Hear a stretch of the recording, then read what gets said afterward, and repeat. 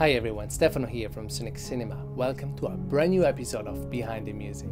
Today I'm incredibly excited to be speaking with composer extraordinaire Patrick Jonsson. Patrick is an amazing composer, Emmy nominated, known for combining orchestral and electronic music, creating incredible samplers. He wrote the music for the Oscar winning documentary The White Helmets, Oscar nominated feature documentary Virunga, Black Earth Rising on BBC Two, and wrote additional music on The Alienist, the hit series from Netflix. So today we'll be discussing his composing process, his journey, tips for writing music for documentaries, his album, and a lot more. Hi, Patrick. Hey, hey, Stefan. How's it going? Sorry, let me just turn my thing on side. Okay. no way. Great to finally meet you. Yeah, likewise. How are you?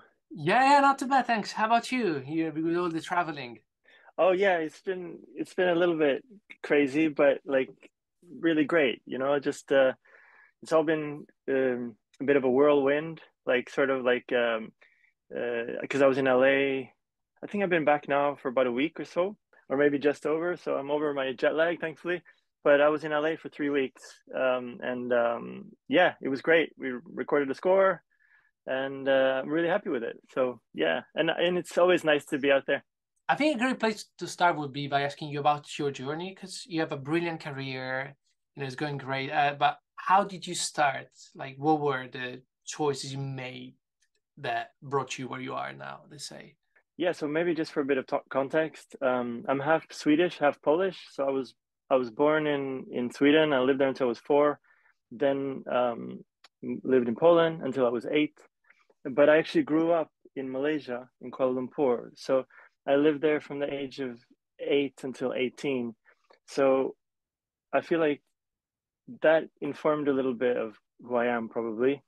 And, um, and uh, so I'm like, uh, and then I went to Berklee and uh, studied at, in Boston, studied music. And then uh, me and my wife moved back to Europe because we wanted to be closer to family. So that's sort of my little journey.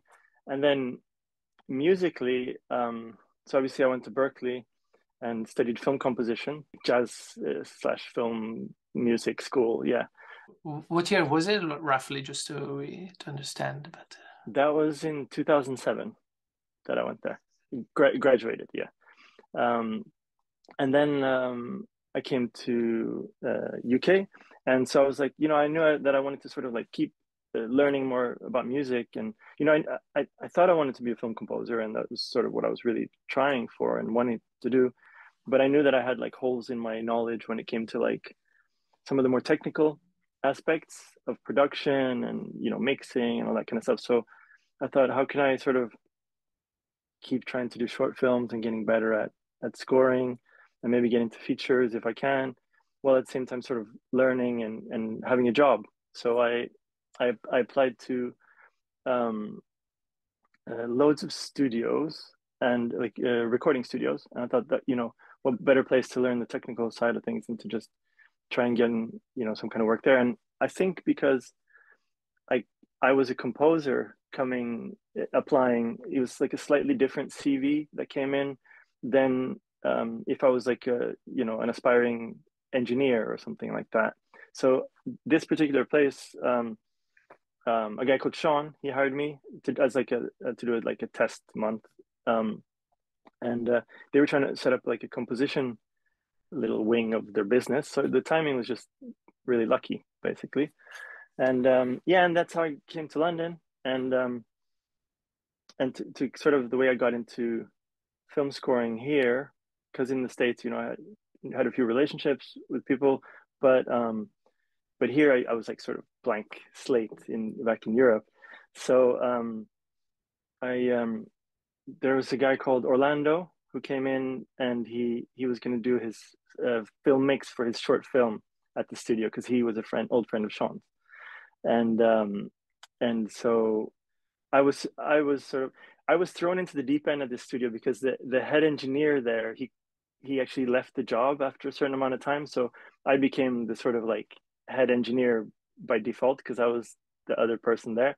And so there, I would have been like recording like an accordion, for example. So I was quickly like Googling how do you record accordion while the player's in the room and stuff like that, you know? So it's like, um, but it worked out. And then so I was supposed to be the person who was doing the the sound design and mix for Orlando's film, and I was hired for two days, I think it was, and um, and then overnight, uh, Orlando uh, had left the film there, and I was I obviously wanted to be a composer, so I was like, you know what, I'm gonna sort of go out on a limb here and score the opening of the film, and I'll show him to him in the morning and see what he thinks, and um, and so I did, and he liked it, and so uh, now me and Orlando have worked together for many years, and you know, it's another example of being lucky at the right place, right time, kind of thing. That was good of you. Like you know, I think uh, yeah, you like small risk. Uh, you know, okay, let's see how he reacts, and that. Do you think that was the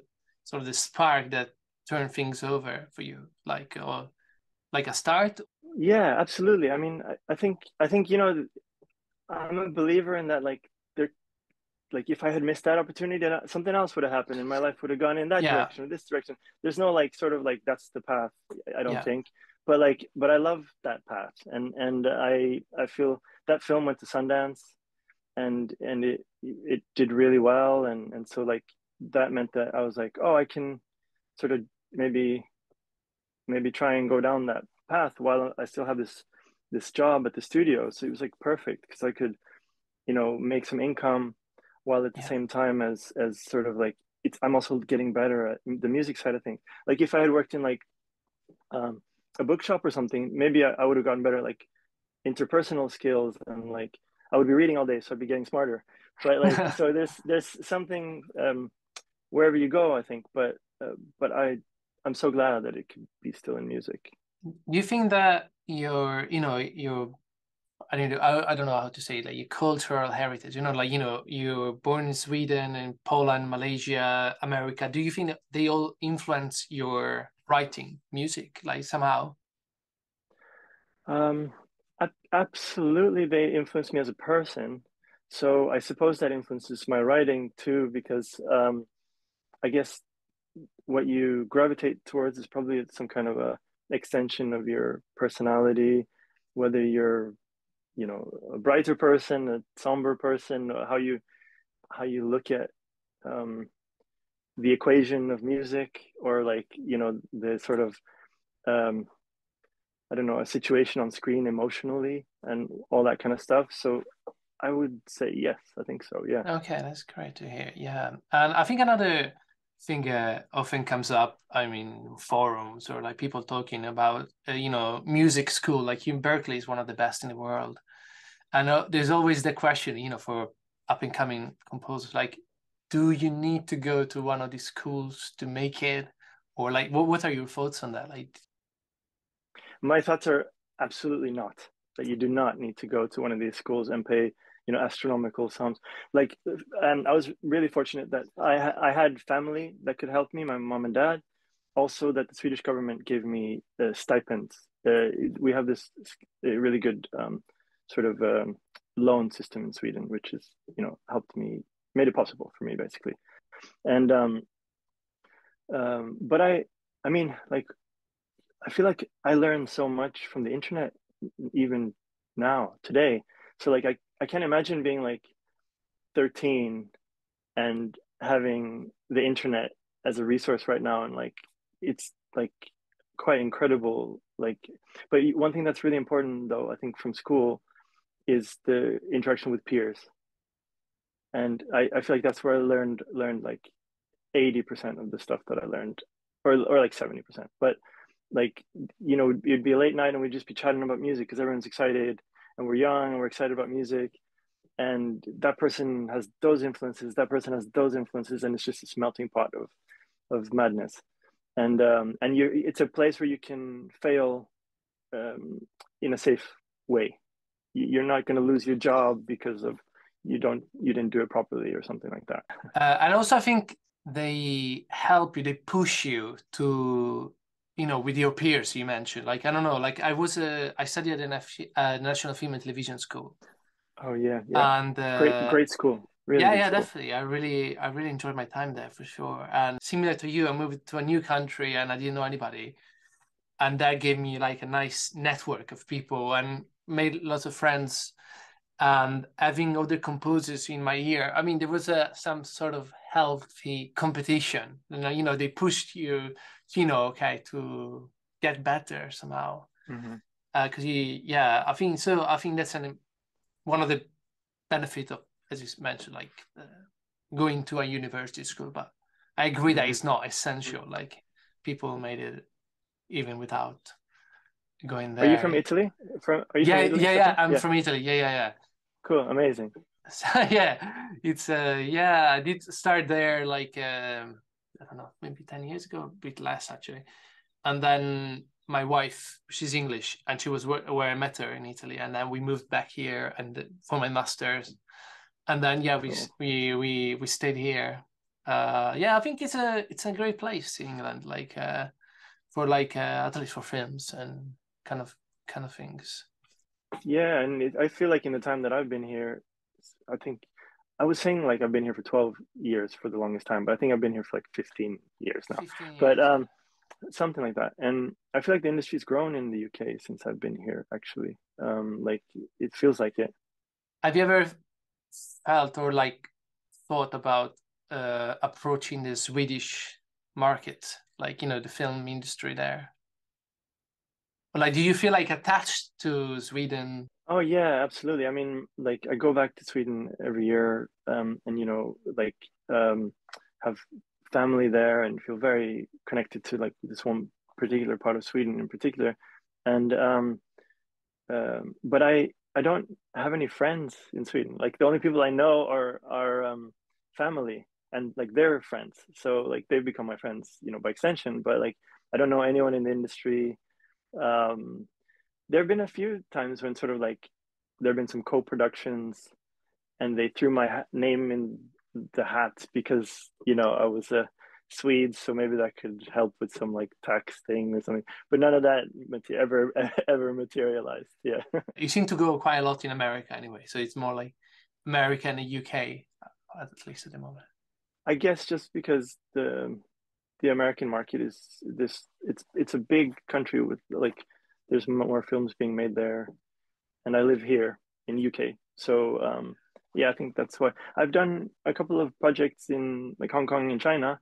Um, uh, but that was you know some years ago. Um, yeah besides that it's been pretty much mostly in Europe. I mean you do all kind of things really not uh, but like a lot of your work seems to be documentary correct me if i'm mm-hmm. wrong. Yeah so yeah, is yeah. there because I, I don't know like i you know i'm a huge fan of yours being a veteran but love your oh, music oh, and uh, everything. No no really. And i think your music yeah listen to is really suited for documentaries somehow. Uh, what are your thoughts on that? Like uh, why do, like do you think it's true? Like uh, is that like a coincidence that your style somehow suited for that? Um, I mean, it's hard for me to identify style myself. I think it's maybe other people can do that better, but like I certainly have things that I gravitate towards, obviously, like we all do. But um, yeah, in terms of documentaries, like I think the thing is that I try not to approach documentaries differently than I do fiction films. Like I I try to sort of like I don't know, really. Um, the thing about docs I find is that which is maybe a little bit different sometimes, is that I try to be sort of one beat. I don't mean a musical beat, like one one moment behind like what's on screen. So I'm trying to react as the audience, uh, as opposed to sort of like maybe like being ahead of them, especially in sensitive moments. Like I'll try to leave things alone a little bit more than maybe I would in a in a fiction thing, um, because you're dealing with real people with real situations and real issues.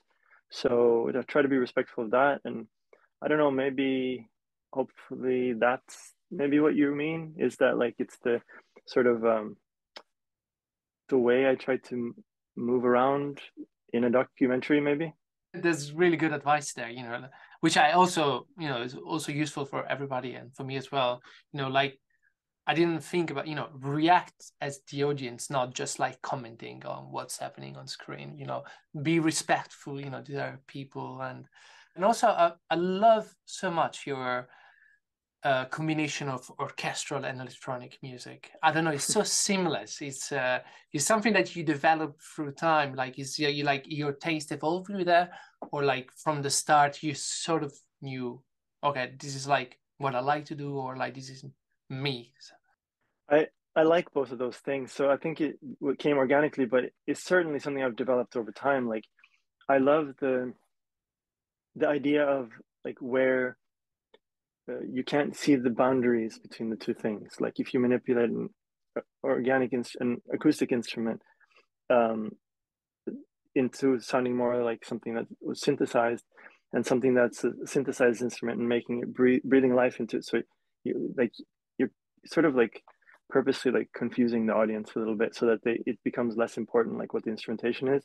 And i think of it more as like energies sort of like um like um ebb and flow push and pull like intensity darkness lightness like filmic words you know? Like um that's how i tend to think about it rather than like um i don't it's not so conscious if that makes sense. I'm like oh i'm not getting what i need from from the orchestra i need a lower extension like that's the oldest trick you know everyone does that but but that's like an example of of a way to to fuse the two things and uh, there are so many other ways you can do it too i mean we'll talk maybe later about but i felt that so much in your album because uh, and i've been listening to it quite a lot and Oh, thank you. It's just uh, like uh, yeah. I just want I want to talk later in detail because uh, you know I love the album, but yeah, just talking about what you're talking about, you know, blurring the lines between those, you know, things. I think that you really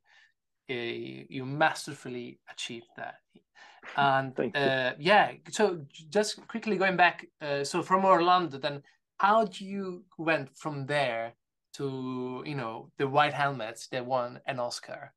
Yeah, well, um, so same director. So so there, that's that's definitely the connection.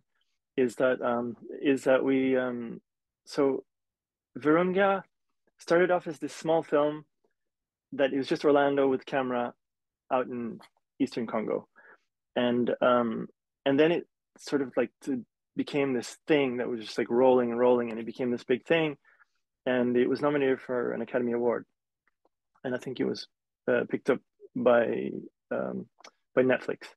Executive producer Leonardo DiCaprio as well. Y- yes, yeah. So it was help a bit for also for marketing reasons, you know, to spread. Oh, oh yeah, I mean, you know, those kind of things are just for a film, especially like a, an impact film, which which actually did have a real impact in the region. Like the oil company, like um, you know, it changed the the outcome uh, at least for the time. And um, and so having someone like like Leo on board to to raise awareness is you know invaluable. Um, yeah. So then for White Helmets, um, and Orlando does this wonderful thing where he t- tells me about the projects like as he starts to think about them. So he's not like, here's the finished film, go score it, but ra- rather he's like, you know, let's it sort of like bubble in our heads for a little while. And I think that's really useful for um, the creative process because it means that you can sort of like um, do lots of like trial and errors in your head without actually having written a single note down yet. And then when you approach it, you're you're obviously still going to get it all wrong, but at least you know you haven't done all those wrong things that you did in your head. Um, and um, yeah, and so so he asked me to do it, which was great and I'm very thankful for it. And it was just a, a super powerful film. And I think my job was just to like not get in the way, you know, just like sort of just help the audience on this already beautiful journey. Like it's really powerful film and and um and yeah, no, it was it was an absolute pleasure. A tip for writing for documentaries: Would you say don't get in the way? Is a good thing. Yeah, um, I don't know. You know, I've been accused so many times by so many people of doing too much, and and um, and and I. But for me, sort of the only thing that matters is that the that you're sort of like you're honoring what you know these you're honoring these people you're honoring the filmmakers and the vision that they have and i think you can have plenty of occasions where you can the music can come to the forefront and really you know be the be the story That's I don't think that's the problem at all. It's just I think it just needs to come from the place where you're thinking about it, and that you're you're um, you're aware of what you're doing. You're aware of sort of the the slight responsibility or big responsibility you have depending on the project. And I think if you come at it from that place, then you'll make mistakes. It's fine. You know, it's like it's you're never gonna make a perfect score or a perfect film. It's not possible. Um, but as long as it's honest, I think, and respectful, that's that's my my take on it. I love what you just said, you know, about being respectful and honest. It's like uh, something I don't know. Yeah, I think we should all try to follow. I think as a and uh, as an advice, yeah. And skipping like in time, just to present days, there's something exciting coming out on December twenty first. Wildcat, also set in the jungle. I watched yeah, the trailer yeah. on your Instagram. It's like, wow, yeah, it's really this soldier. Just for context, soldier post-traumatic stress uh, stress disorder, there, and then uh, from the war, and then ends up in in the jungle and uh, basically saving uh, animals like felines. There's this this ocelot, which is yeah. there's all this story be, uh, between this soldier, ex-soldier, and this uh, animal, and somehow I imagine this relationship heals him. I don't know. Uh, how if you could, yeah, yeah, it would be great to hear your experience on the film and yeah. yeah. Yeah it's a it's a film uh, directed by um, Melissa Lesh and, and Trevor Frost, and um, and it's a beautiful film. And you know, I was so thankful to them for approaching me to do it. And they actually approached me like some years ago. Um, but it took a while for because they were they filmed so many like they filmed like hundreds of hours of footage. And and they you know they went back for multiple trips. And we sort of were just kept in touch the whole time. And and you know um but then um the film is about um yeah like you say he's a um, a guy called harry who went to afghanistan when he was 18 and um he was discharged um and went back to england uh, because of PTSD, as you said, and and he actually decided that he was going to go to the Amazon and take his own life because he was re- really uh, suffering a lot with this, and um, and you know PTSD is a very common thing with veterans, as we all know, and it's something that's getting more and more known, and um, but while he was there, he met he happened uh, to stumble upon this uh, woman. Her name is Sam, and um, she runs a wildlife rescue center there. And they had just found an ocelot, which is like a, sort of a wild cat that it's probably somewhere around that size, or maybe a bit bigger. And um, but they found a little kitten of that, a baby one that had been rescued from from poachers, unfortunately. And uh, but so Harry found sort of like a a reason to sort of like go on uh, from day to day by sort of he's he was going to become this ocelot's mom and he was going to raise embark on this project where he was going to rewild um, this cat which they named Khan and um, and um, yeah so so sort of he's saving the cat but the cat's also saving him at the same time and and sort of it's this really interesting story about the healing power of nature. And that's something that resonates really strongly with me. And I think most humans that there's, you know, just some sort of like um, profound thing about our connection with the, the natural world. And um, particularly in dealing with sort of subjects of mental health and sort of rejuvenation and, you know, finding energy and life. And um, so so musically that's where i tried to sort of uh, draw from within myself so i i hadn't experienced the same things that harry had but i um you know had my own much smaller versions of whatever it was and my smaller versions of connection with nature and so i would try and channel that stuff and so but i was always always conscious of the fact that mental health is something that's not just like it's a linear trajectory. We're like, oh, getting better, getting better, getting better, solved. It's not like that. It's sort of like a struggle that continues potentially for for lifetime. And so um, I wanted something in the music that had like a bit of complexity, complication, dissonance, that was always combating even the, the sort of more beautiful moments. And even in some of the writing of the the thematic stuff like um, the relationship themes between you know harry and sam um, that that relationship somehow you know wasn't going to last. And so you, by oscillating between major and minor resolutions or bringing in those complicated sounds or whatever it is that you're always keeping a subtle reminder to the audience that that things they're laughing and smiling but there's something under the surface that that demonstrates that that um, that feeling that something is not full completely fulfilled inside. And there's yeah. So uh, that was my my approach to the whole score. Do you find that having themes helps your writing? And this is like also maybe something I'd love to hear from you like as a, a word of advice uh, when you work on long projects like that. To um you know there are often characters in a journey and they change as you say probably there's some something happens in the film that change the character. It's not static. So music wise what would you say is a good way to do that change in music that goes with the character like through the use of themes or like uh, i don't know? Yeah so it's a, it's a difficult one to answer. So first of all themes yes absolutely. Like i feel like i can't enter a movie or series until unless I have like some idea like unless I hit upon something that makes me feel what I need to be feeling from that story. Like it can take a second to figure it out or it can take forever to figure that out. But without that, I feel like like that's where I spend so much of my energy is like and sometimes it can be a sound that triggers something.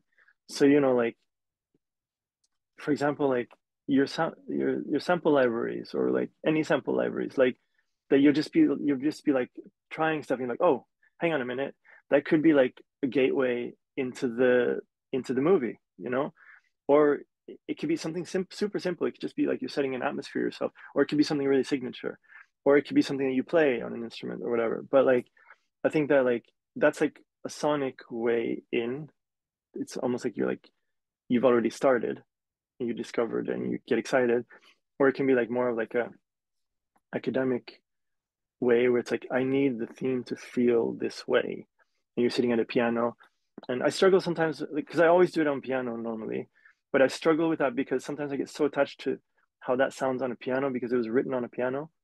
And and I, it's it's like hard sometimes to break free from that.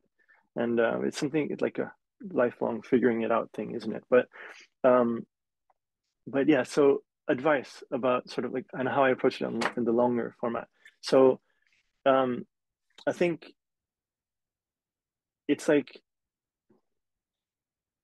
uh, in the beginning i think i sort of like feel my way into scenes. I'm just like that feels right. It's just it's just a feeling. It's like you, the, the picture's giving you something back. And you're like it's like um, i'm giving something to the picture now i feel something more from the picture than i did before. And so then you've like felt your way into like a few scenes and you're like in general this seems to be working. And then you're like you've like you're, you're like establishing a language.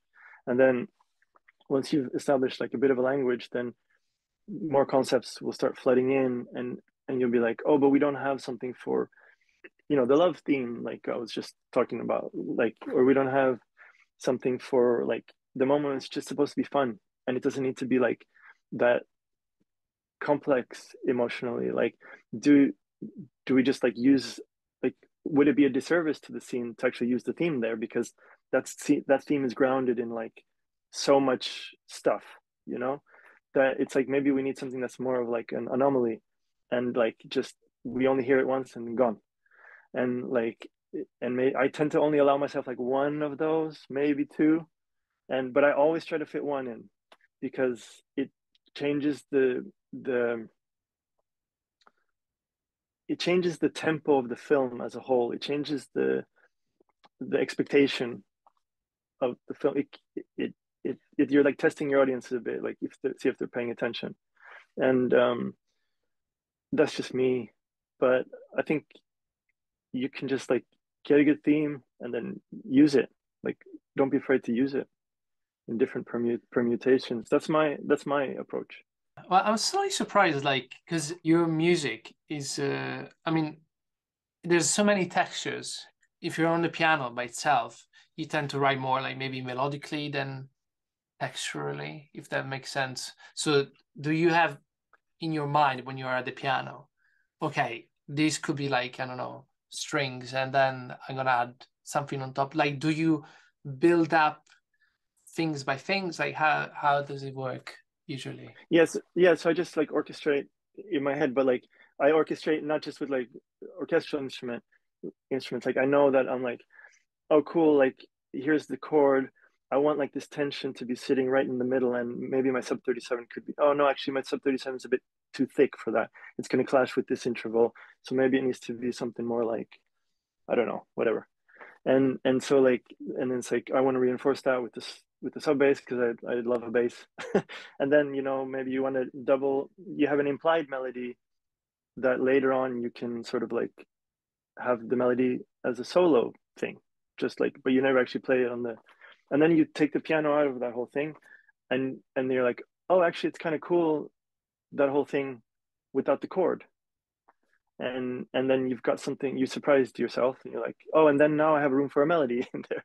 That's like i don't know it's just like experimentation. I'm just making it up as i go along basically. Uh, and also you make your own i don't know like i did download them your sample libraries which you generously release oh, to the you, public did you, did yeah i love them? them yeah yeah oh, of course cool. yeah yeah they're, they're amazing i was so generous of you and of it's course, great. So, yeah. is there, there was yeah? Is that what you do sometimes for your projects? Then, like bespoke sounds like that for each project. Yeah, yeah, yeah, absolutely. Like that's what I've been doing for the last three days. Actually, is I just been making making noises and stuff, and um, and like, because you have the process. Well, sorry to answer your question first. It's like yes, I do I do that a lot where I I sort of decide like, is it better for me to have that as audio and just throw it around, or is it better for me to have that as an instrument and be able to like play it you know and then whatever the answer is to that question i'll do either build it if i'm like on my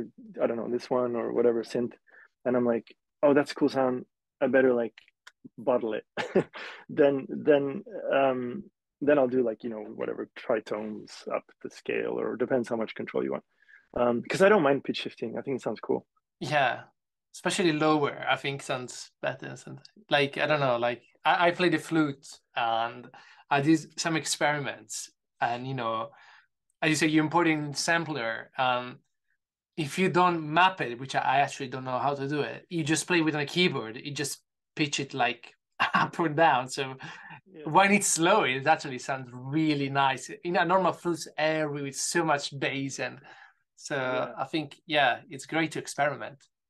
Yeah, really cool. Like yeah, everything when it's like down three octaves is just vibey, isn't it? But you can't have too many of those, or you just it becomes this rumbly mess that's yeah, like out of yeah. control. yeah, you can like have one of those and then something else or something. But yeah, really cool. I didn't know you played flute. That's great. Did you play yeah. on that uh, brute flute? No, yeah, no, you, no. You got someone no. in for that, right? Yeah. yeah, yeah. So basically, yeah. Now for Sonixinema, I basically do like content creation, like demo walkthroughs, interviews but they work with uh, other musicians for for that. But yeah, I did. Yeah, I graduated in flute. It was like ten years ago, twelve years ago. Yeah, I love the flute. Yeah, play guitars, play the cello. Actually, the intonation is like insanely difficult to to get right. That's why I have. That's why I have. Um, I have one of these which has has frets, so that I don't have to worry about the intonation as a guitarist. so at the end, actually, one day, unfortunately, I just woke up basically. I just didn't love any anymore, like playing, and I give it back. but you know, never mind. I think you know, it's always one of those. I don't know if you have it as well. Sometimes you think, well, I would love to do something. Um, you know, maybe it's too difficult. I'm too, you know, there's not enough time. But then naturally say, okay, why not? Naturally, well, what's really stopping me? So that was the challenge. Mm-hmm. Then I started studying Japanese actually two and a half years ago oh, for the same reason. So every day, Amazing. you know, I, so you know, I don't know if you have one of those things like as well that you want to do it or like you know, like something like that. You know, playing the cello or learning something. You know, it's like my absolute dream, but it's never gonna happen. Never is um because Astor Piazzolla is one of my favorite composers in the world, yeah. and and um, uh, bandoneon like like it's just like I think it's one of the most soulful instruments that exists, and like is it one like doing like this, right? Sorry. yeah, but exactly, it's like an accordion, but it's the the sort of like you know octo- octagonal shape on the sides or whatever, and yeah, and like um yeah, it's a slightly different darker, maybe reedier sound than the the accordion. But like if you play it and you put on like a film, there'd be everyone would think it's an accordion, and you can't get away with accordion on many scores. so, um, but but um, yeah, it's my dream to be able to play that. But like I said, I mean, the learning curve is just crazy on something like that. I wouldn't have like guessed that. You would have that would be your sort of like dream like about the panel yeah. Well i i love um flamenco. Like it's probably my fav- favorite type of music. Like um um paco de lucia was is like my favorite musician of all time. And um and there's something like akin there's like a kinship between like t- the, the sort of energy of flamenco and the energy of tango which is like it's like like kind of like like I used I used to be in a punk rock band and like I it's like sort of like a bit punk rocky, you know what I mean? But like but with much more history and and more sort of um passion and culture to it. But like um so maybe that's why I gravitate towards those kind of things. Oh, I would have never guessed because you know, like I think there's definitely something Nordic about your music. You look like be like Swedish and stuff. So you know about the flamenco and, stuff, and these kind of things. Like yeah, that comes yeah, as an expected. It's not in my music, I don't think, but it's in in in what I like. Wow, yeah. wow, yeah. So just quickly, because you mentioned like uh, influences, like I feel like uh, as now I'm very curious. Like, what would you say would you be your top three like influence like as a composer? Like you mentioned Astor Piazzolla yeah i mean like like i think that he's um i mean he he's influenced me so much but i i don't know how much of his stuff is in my music. Maybe it's more in like that i try to find intensity and the energy and stuff i don't know. But um i mean i love radiohead Jonny greenwood. Like lately i'm loving like like Mica Levi, everything she does is amazing. Trent Reznor, like, and then from the more classical people like um, James Newton Howard.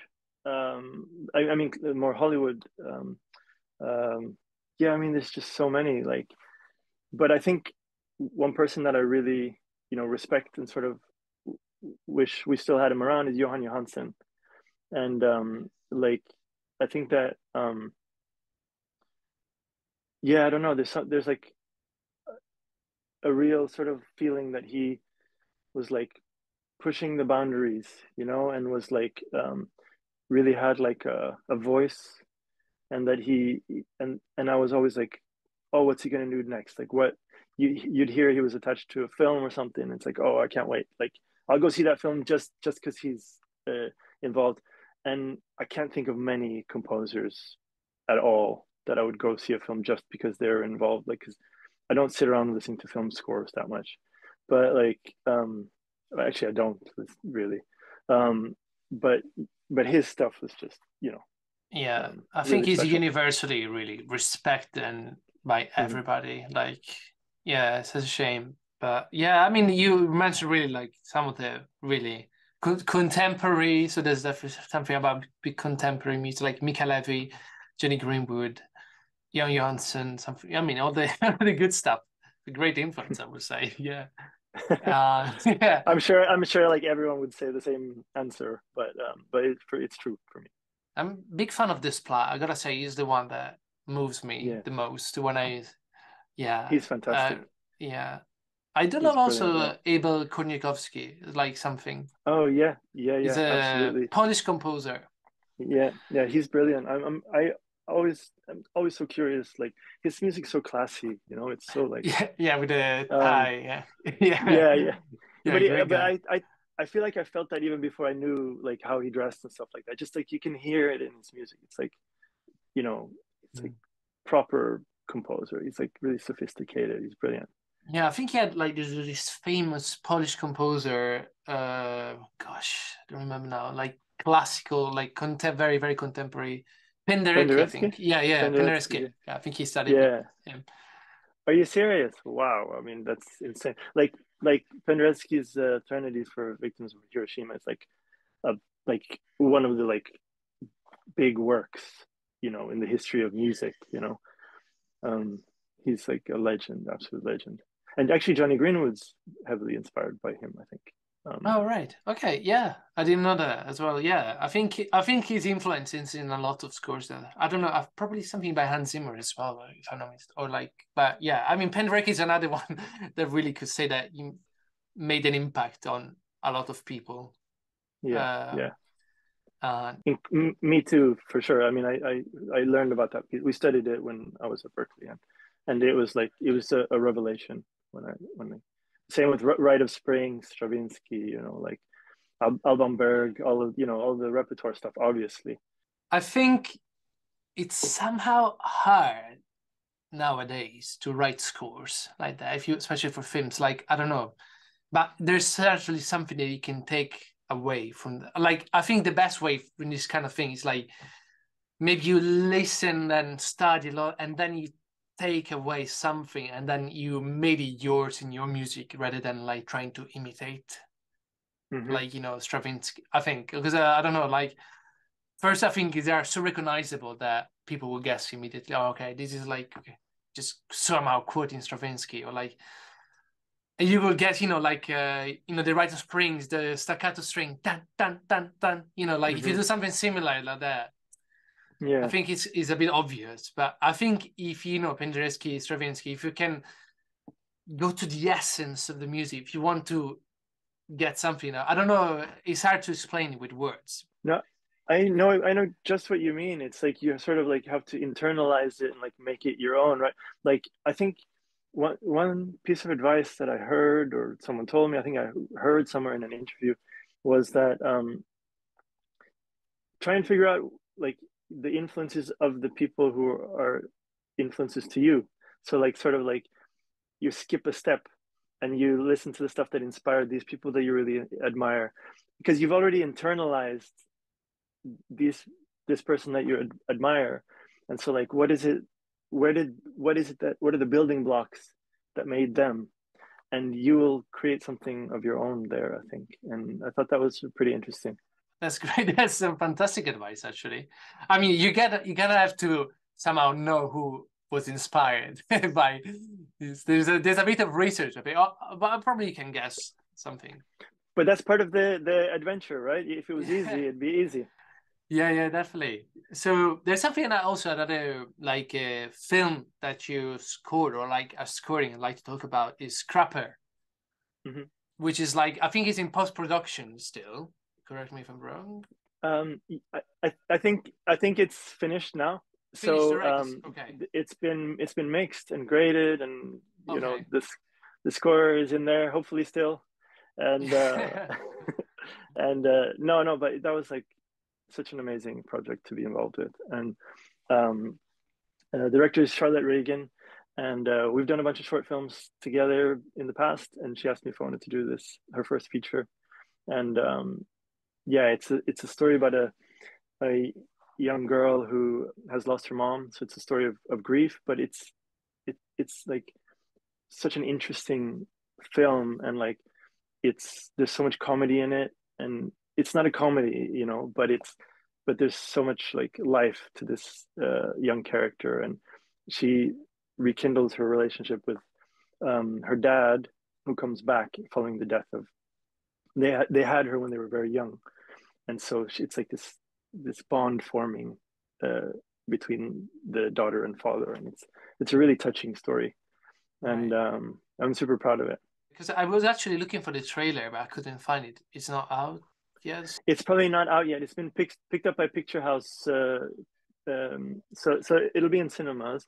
But um, i don't know exactly what date yet. And um, hopefully there will be, be more news soon. Because I read there's this magical elements to it, like she's imagining thing like you know the power of imagination things like a tower coming out from the bedroom or something something oh if oh is that public? Okay well then i can talk about it. Well no i, I just i did some research and uh, that was that was a good find yeah. That's perfect that's perfect because yeah actually so so for that one because I, I like to think about these things like as i'm conceiving ideas um that tower that she builds is made out of like metal like scrap metal and pieces of so i was like the score has to be metal.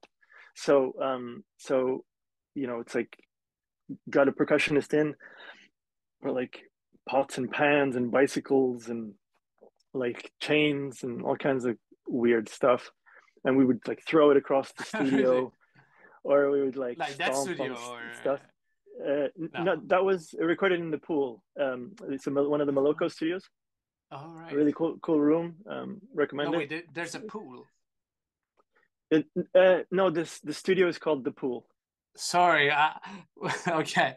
I imagine you in a pool, swimming pool, like bashing. No, like, no that that would have been a good idea. That that was the idea. Yeah. Um, okay. Yeah. No. So um. So we just yeah made some noises and then got some uh, brass um, players in and uh, some woods and yeah just made lots of noises and uh, some of it made it didn't make it into the film but lots of it lots of that stuff from that session did and oh really? Okay yeah. so you, oh awesome. Wow sounds very interesting. And i also read that the relationship with the father is you know it's kind of difficult. She was happy actually by herself and the father actually comes in you know you're super somehow facing reality like mm-hmm. uh, how how did it go like music wise like for the father it was like like uh, some uh, specific instrument or it was like a mood? Yeah, well, so so again, my way into the film was to find the you know a theme for what whatever I thought was sort of the the anchor for us as an audience, and for me that was the relationship between Georgie, the girl, and her mom that she had lost, and sort of I felt like if I could figure out what that sounds like, that I could navigate my way through the film and sort of like that's something to hold on to. And that's the way it, it played out. Like once we figured once we found that it was like i mean it was it was a, it was one of the harder films to score that i've ever done because it's um i think there's not that many cues. There's maybe like 12 like 15 cues or something in it. Whereas like i just did a film um the one i don't know if we'll talk about it after if you wanted to or not but that it was had like 36 cues or something like that or like or yeah. And then and then you know this this one had like i don't know less way less than half of that. And so but like the level of like detail we went into because it was such a balancing act because you're dealing with grief but it also has to be like a bit sort of from her perspective, from a little girl's perspective, and she's youthful and full of life and energy. And but there's also the complication of like her relationship with the dad, like you mentioned. And so it's like very much I find that all this all the scores I work on are always this balancing act of like you push it a bit too far in that direction. You, is it a chord? Is it a timbre? Uh, is it a tempo? What is it that that's pushing it too far in that direction? How do we bring it back? You know. I think a question that popped out in my mind now because you talk about grief and uh, there's another film you scored uh, Evelyn or Evelyn I don't know what's the right pronunciation Evelyn uh, Evelyn, Evelyn. Evelyn you know it's also about grief and the question I have is do you think that you know now you learn you know for your past projects you know in this case let's say grief you know the loss of someone okay music wise I know where I don't want to go because you learn it in previous films. Like, did you find that in in this case also with the scrapper? Like he sort of like knew, okay, I don't want to do that because I tried before and wasn't working for me. Yeah, for sure. You we learn on every project, right? But also like I find that like my relationship with the picture is always so like based on like how it's shot colors you know like tempo the performances of the actors like so I feel like something that may be too big on one film, maybe just right on another film, and like I wouldn't want to like always be narrowing myself down as my career goes to, to like get to this point. It's like this is how I always do grief. Yeah, this is how I always do. No, no, of course, yeah. Stuff, and that's not what you meant, of course. No, no, no, but of like, course, no. I, I, yeah, it's a good point. I think I think that would maybe be my only worry. Is like, how do I keep an open mind and just like, like, because I'm limited already, and like, because you know, um, I'm I do the things that I always do. So like, how do I get away from the things that I always do, and like, how do I actually throw something at it that's like not like not me, and um, like I'm always trying to sort of like get out of my own brain and like putting something there that I can observe. I don't know if that makes any sense. But, yeah, um, for sure. Yes, uh, I agree. Like uh, it's um I think yeah, everything is different. You know, colors, character, the story, the way it's shot, inspire in different ways. So could be very well actually that one thing that didn't work in another film might might work in this. So I think yeah, keeping in keeping an open mind. But but probably wouldn't right? Probably wouldn't work. But I, I I'm okay to make the mistake again, if if you know what I mean. Because I think actually one problem we have with this whole concept is that often we don't have so much time to work on projects and then you know like maybe for tv series more like than maybe features but like okay we need the score in like three days uh you kind of like go where you know where you know you know we, we the, you know the muscle yeah. memory on the keyboard somehow like that yeah. uh so that actually is yeah. very limiting for i think for you know your your creativity and like you know exploring new things so do you find that in your work you have enough time to? I think the documentaries usually take so long, years probably. So mm-hmm. maybe that allows you to be creative and experiment more than other uh, type of media. I find it very difficult to work on multiple projects at the same time. So I will work on one project and then I'll work on another project. And then like, you know, it's I've done things before where I've had overlap like it's definitely happened. But I try my absolute best to make it so that I can do that. And I try to just be really clear with everyone about what I'm doing so that I can, I don't want to like tiptoe around, you know, like I, I just want to be like, I'm working on this until that date. And like, and inevitably it'll last for two weeks longer than it was supposed to, obviously. And this one will move and everything moves. But that happens all the time. But um, time is really important to me in terms of like being able to do a good job. So, um, and you don't always have it. Um, so I don't know, like it's tricky. I've been really lucky lately that I've had good amounts of time to work on the things that I've done. Mm. Like this last one that I did for Boogeyman, that was like I had several months to work on it. And um, Scrapper, we did over a few months too, and Wildcat too. So you know, it's been um, I've been really lucky, but but then that's not always going to be the case, and sometimes you have to rely on that muscle memory. Where, but I think something cool can come from that too. Sometimes where it's a bit like rock and roll, wild. You're just like, okay, th- I have one shot to get this right. If I don't get it right today, in this one sitting here in these two hours that I have to come up with ideas, then uh, I'm screwed. So there's a bit of like interesting pressure that comes from that too yeah. and you just start like it's almost like you're performing in front of people or something and um you just got to get it right and yeah. uh and something happens you know and like yeah and then and it's a whirlwind and then it's done and it's out and it's out and it's in the world and you're like oh hey that was pretty good actually do you go to the premieres of your films usually like when you premiere at the cinema how do you feel like when you know music is on the big screen, like uh, happy, I nervous. Very, I sink very low into my seat uh, when the movie starts. Um, but um, no, but I love being in a cinema with people. It's like, especially if they didn't know I was working on it, then you can like sit next to people and see if they're laughing or crying or reacting or not reacting when you hoped that they would. and uh, and everything in between or but they always surprise you they always react in places where you didn't expect and you're like oh yeah that is a great moment and like how, that just passed me by a hundred times but it brings you back to the first time you saw the movie and like um, I love it. Like it's probably my second favorite part of a film. My favorite part is um, when it's all like exciting and you have to come up with the ideas, and then it gets really intense and scary and everything after it. And then the very end where it's like, oh, um, you know, we did something cool there, hopefully, and you get to share it with an audience. So I, I love it. How do you deal with uh sorry, this is like feels like an interrogation, but I'm just so curious because you know, one day I when do I get the chance to otherwise to ask you these things?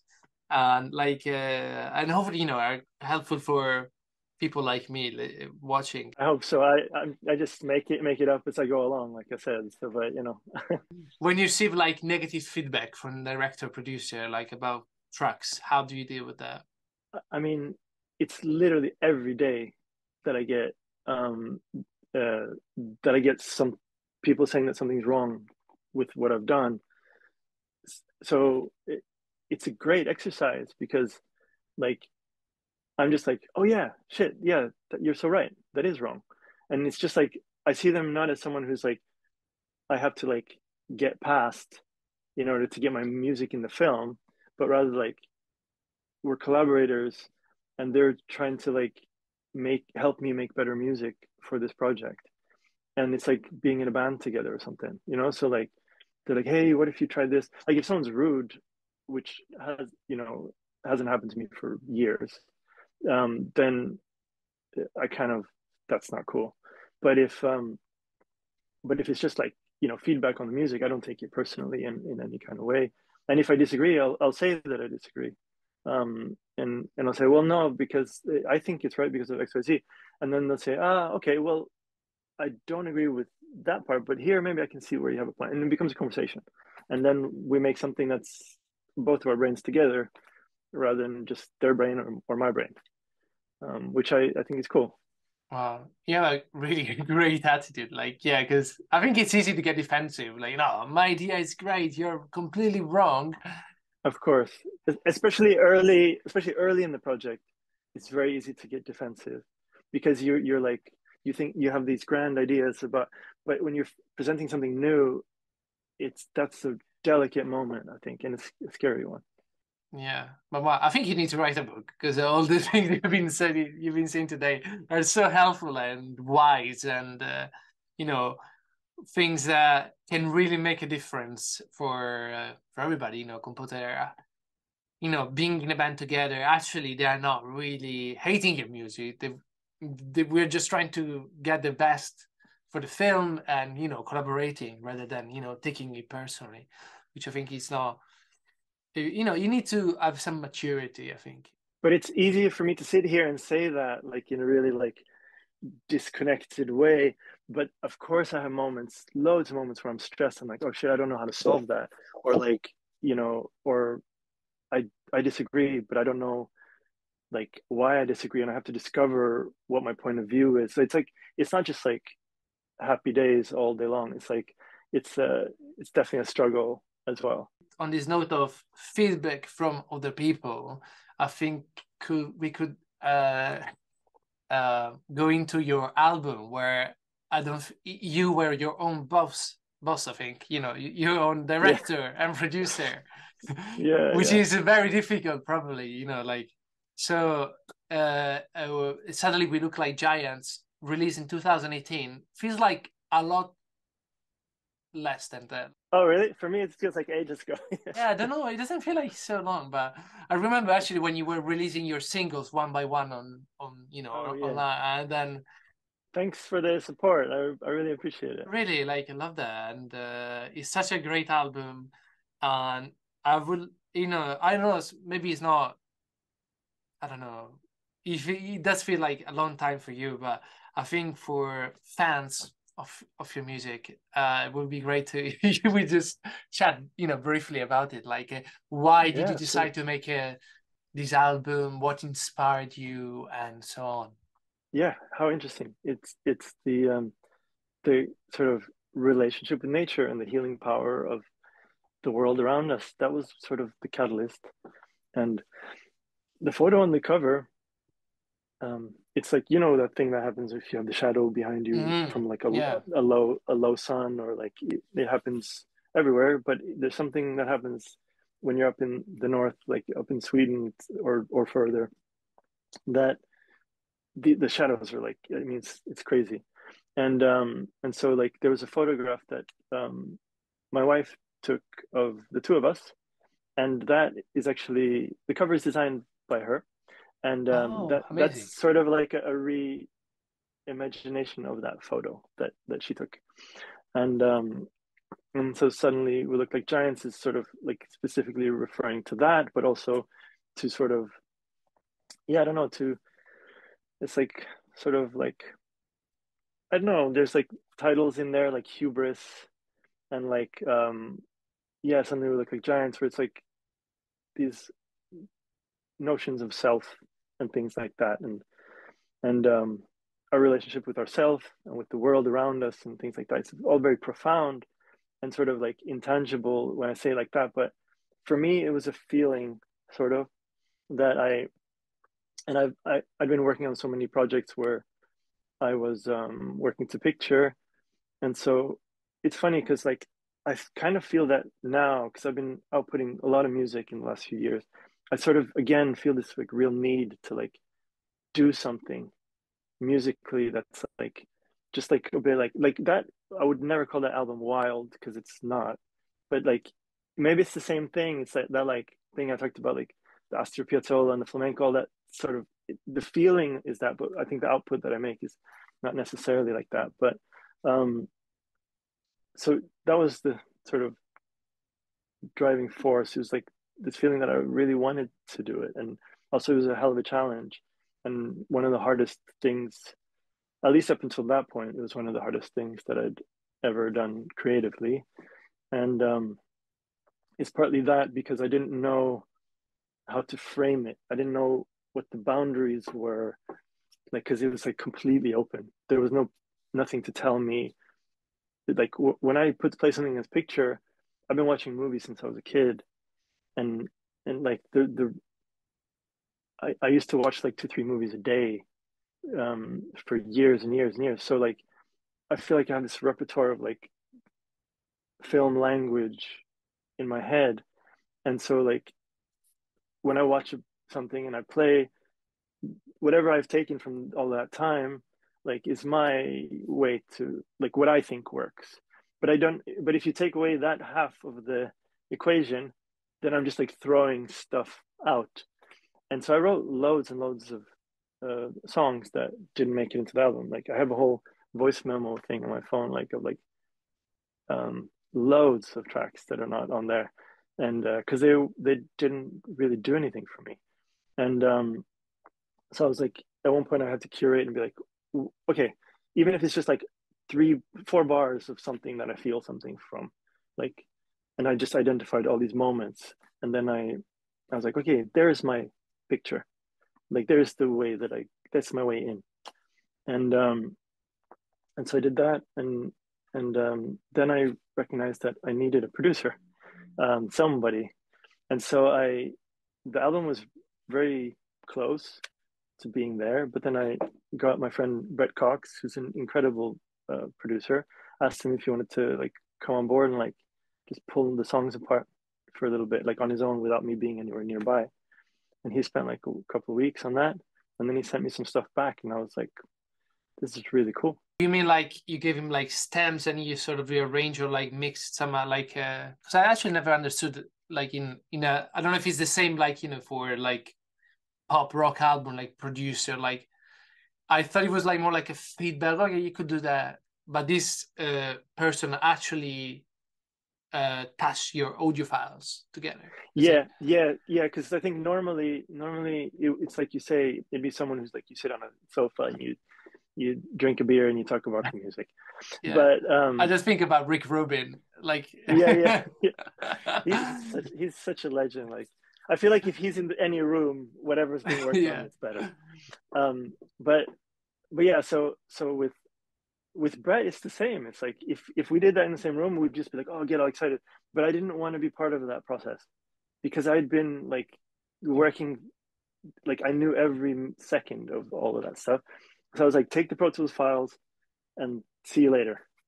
And and he knows he's not gonna like just completely like delete everything and start again. Yeah. So um so he just like and he didn't do stuff just for the sake of doing it either. Like there are places where he just he's like, it's great, leave it.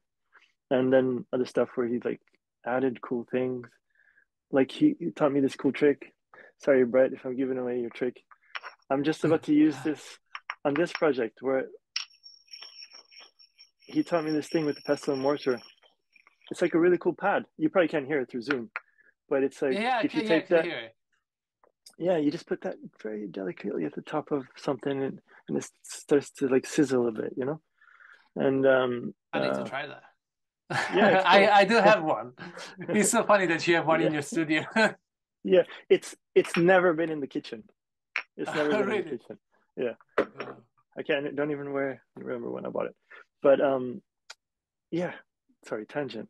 Um so um Brett did incredible things and then Nick Taylor who mixed it did incredible things yeah. and then Cicely Balston who uh, mastered it. She mastered my album as well, actually. Funny enough. Oh really? I had at my yeah, my debut album, yeah. Uh, She's amazing. Hey, I haven't yeah. heard your album. Um I'll have to check it out after. Ah, thanks, man. Uh, it's called Solitary Places, and funny enough, also it was inspired by nature and you know the feeling you get when you are in this uh place, like you know where it's nobody, just immersed in nature. Like, yeah, it's just a long process, and the fact that there's, I didn't actually have a producer, so the, as you say, there are infinite possibilities. Like, it's too much, too many. Like, uh, where are you going? Like, with the next, like, is there a story I'm telling? Okay, what I want to say and and there's also the aspect which is not to disregard like who am i writing for really? Like am i writing for me or am i writing for people that could like this music? Do i want to get on spotify playlist? Because at the i had like you know a few thousand monthly listeners now and then like probably to 200 and every time i had lots of listeners was because there was something in playlist. Like you know and it just seems like i don't know like at the moment like unless you are like you know as famous as you are like you know like big name like Ólafur Arnalds Oh, I'm I'm not in on the same stratosphere as those guys. Yeah. but you know there's something that unless you are in like in playlists it's hard for people to proactively go and listen to your things if you're not yeah. you know Yeah, it's crazy because like it it's such a trap to try and write for playlists because uh, like you the to try and predict like getting on the playlist is like like the the tracks of mine that are on playlist I would never have thought would be the ones like okay suddenly like like Giants is like the the title track. So that one got on a couple so fine. You you kind of really have to like go from the other side that you're writing for yourself because like if you're growing if you're you're actually connecting with real people like you could have loads of plays and like no one knows who you are still. Do you know what i mean? Whereas you could have like no plays but 10 people like you're their favorite artist or something. Like that's surely worth a hell of a lot more than like um because yeah i don't know. It's it's it's an interesting thing. Especially you know these days i don't know if you are on social medias. Yeah you are actually but you know there's a spotify wrapped you know the at the end of the year. Oh yeah. That was yesterday. I i, I saw i saw mine yesterday because they send a little notification thing. Yeah. It's interesting to watch it. It, it sorry go on. I'm interrupting you. Go on go on No, but it just I don't want to sound rude or maybe I sound just jealous. I don't know. But it just seems like a slight brag, like how many plays and listeners I had every year. Yeah. Like, oh, you know, I got like two million plays. Of course it is. It's like a it's like a hum, humble brag, right? It's like yeah. But but it's like something to be proud of for sure. Um but yeah, also like I th- I do think that number of like actual engagements like with like actual like people who are engaging with your stuff is is worth more than like how many, you know, years were of music. I don't understand that thing. It's like your music was listened to for 10 years and i'm like uh, it's it's like i don't i don't quite understand it's like a high number but it's not it doesn't make any sense you know to me at least but you know i agree so much with what you said like you know um i had like my japanese teacher actually and, and another fellow student like they shared with me privately that i was in their top five you know most listened oh, wow. that was so touching like really. That's worth more right? That's that's like the real stuff yeah. Often now music it feels like uh, com- you know a commodity like you know they do playlists because people want something in the background how often do the people actually listen for the pleasure of listening? Like pro, pro you know you sit down and you really appreciate the music. How how often does it happen? Like let's face it like people should buy record record record players. People should buy record players. Because um, I, I find that the, the fact that every few songs you have to get up flip the thing over and make the decision because because like the music finishes and you're like like oh shit, I, I want to keep listening. So then do I want to listen to the same album one more time or do I want to like keep going on the journey? Like there's something about being able to hold it that makes it less disposable somehow. Um, do you think like you would write because it's been four years, like can your fans expect new album in the future or was that one at last? Oh oh no, it's definitely not the last one. Like I've been I have already written songs for the next album that um, I have again on my voice memo thing, and uh, and some of them are probably crap, and some of them are hopefully are okay. But um, for me right now, the complicated thing is how do I, because I'm I'm doing quite a lot of scoring work, so how do I find like a, a window where I can like set aside some time to do it and stuff. So um, it'll probably be like when I've got a, a gap between stuff that because I'm I really want to I'm really excited to do it and there's something cool about being in the studio with like a different kind of pressure less pressure but also still pressure it's just different. I don't know like I like to just book a day in the studio and, and go and see what happens too because there's something like wild and fun about that. Like it's that thing again you got to figure it out on the spot otherwise you've wasted a studio day. Are you taking things in a different place sonically? Like, is does it feel like a different journey or like a complement to what you have? Uh, no, I want to. I want to do something different. So, um, uh, I, I, am you know, the themes are things that are like with, within me. So I'm sure there'll be something related to that kind of thing. But, um, but I, so lately, lately I've been thinking a lot about what is it like? I don't know, you know, like Beatles songs where you sometimes feel that they've just like taken two pieces of music and they just like went like that, and like they just chop chopped a bit off and then you know, but it's perfect. And you go on this journey, like, how did we end up here? The hell is this? And but it's great, and so it's like I want to see if I can be a little bit less sort of um, pretty in what I do next. Sort of like a, a little bit less. Um, I don't want to say predictable because I tried already on the last one to not be too, too predictable, but to to like um to go on a journey more maybe you know to like just where you it's not point a go on a journey and come back to point a again but maybe we end up in like x which is like a different genre of music or something. I don't know. You know, I have no idea, but I'm I'm trying to be open minded to that and see what happens. As a last question, so we mentioned like you know at the moment you can you're working on a very very big film called Boogeyman. So I know it's early days. It's not much we can talk about, but yeah, whatever you can share with us, we'll be grateful.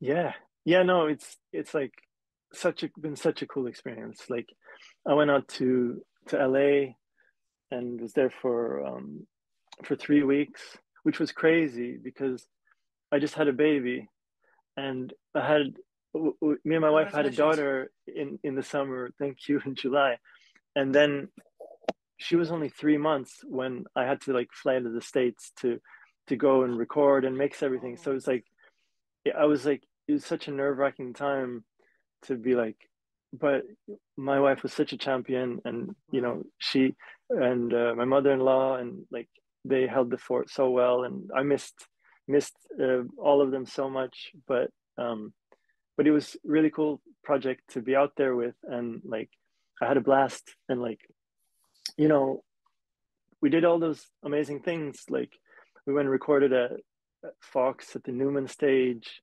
My son achieved there like wow such an iconic studio. You you pinch yourself yeah and like you go into this like rocket ship of a of a control room and like um you know we mixed in 7-1 and then atmos and stuff like that. And and it's just like sounds really great and the players are so amazing in the room and everyone who helped contribute to the score and in terms of like the orchestrators and the, the copyists and the mixer and music editor like just everyone and and um, it's directed by rob savage who's a good friend and um, and uh, he absolutely smashed it on the film, and it's hmm. super scary, and it's yeah. amazing. yeah, I remember the the the twist at the end from the story. I, I, we wouldn't reveal it maybe for the don't just well, the, yeah, well, yeah. you know the sh- the short story is out there in the world, um, but I can't comment can't comment on obviously the specifics of this one, but um, the yeah, it's it's really scary. It's fun. Was this your first horror? Mm-hmm. I've actually worked with some on some short films with Rob before, the same director, um, which is why he was, you know, took a leap of faith in me and brought me on board, and I was so thankful to everyone at you know the studio as well for for letting us um, work together on the film, and um, yeah, it's it's completely different to anything I've done before, music musically. Um, so that was super fun and um, yeah, hopefully people like the film and the score.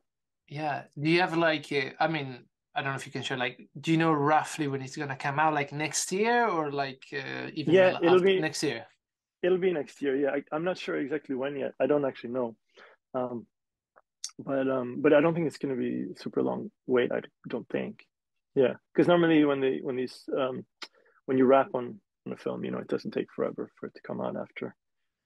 Um, well, I'm excited to hear it because uh, yeah, I bet because I I'm not used to probably hear horror from you, so I, I'm very interested to where you know what journey you're gonna take me on, like musically. Like I can imagine being very scary.